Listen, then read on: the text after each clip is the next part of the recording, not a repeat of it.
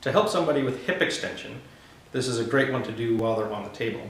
So we're going to focus into the glutes because that's one of their main actions. So you can see John's got his heels dug into the table, and now he's going to lift his hips up off the table. So this is really good because right now both legs are supporting that movement. So if the patient was only having pain on one side, it's, it's a good way to give support to that before we start ramping up into more uh, complicated exercises. But for now, this is a good isometric that you can, that you can do for hip extension.